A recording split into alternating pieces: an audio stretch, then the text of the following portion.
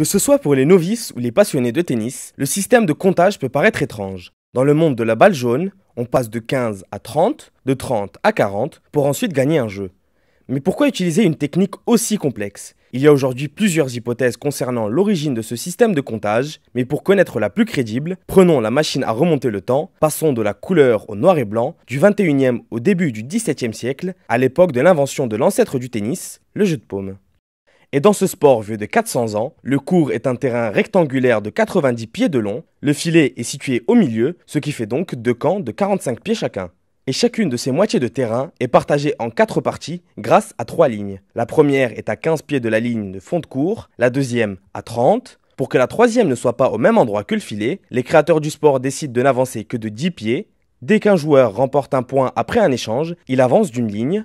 Il avancerait donc de 15, puis 30 et enfin 40 pieds, ce qui permet au gagnant du point de réduire son camp et d'augmenter les chances de faute de son adversaire. Et lorsque les deux joueurs sont à égalité, l'arbitre annonçait à 2 pour signifier aux joueurs qu'ils ne sont qu'à deux points de reporter le jeu. Les Britanniques la prononçant à leur façon, ça nous donne donc la célèbre expression deuce. Ces règles seront rassemblées dans un livre publié en 1874 par le major gallois Walter Clopton Wingfield, connu pour être l'inventeur du tennis.